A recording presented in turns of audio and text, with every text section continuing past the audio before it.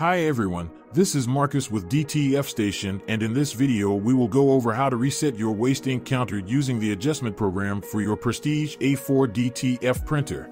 You will know that it is time to reset the waste ink counter when you see alternating red lights on the ink and trash buttons as shown.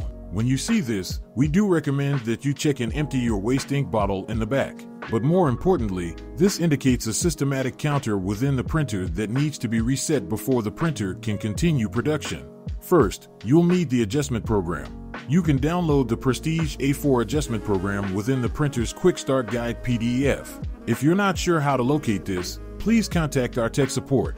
Once you download the adjustment program, you will have a zip file that looks like this. Go ahead and double click the zip file to open or right click and click extract all.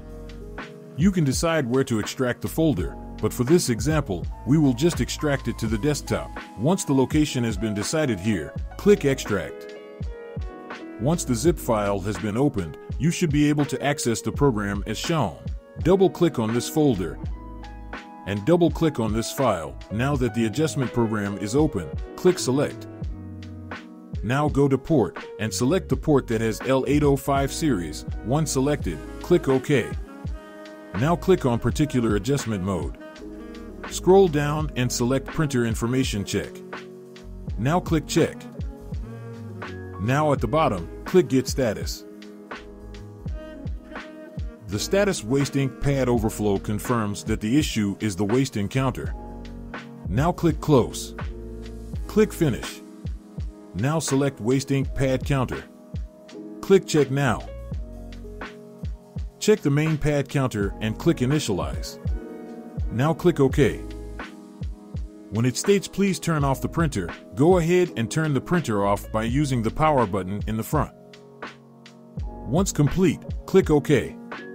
Now go back to the printer and power it back on by pressing the power button in the front. Once the printer is fully powered on, which is indicated by a solid green light on the power button, check if the alternating red lights are still there. If the alternating red lights are no longer present, your waste ink counter should have been successfully reset. To perform an additional check, head back into the adjustment program and click check the value next to point in the main pad counter category should be 0 if the counter was reset correctly. Alright, that's it for this video. Thanks for watching.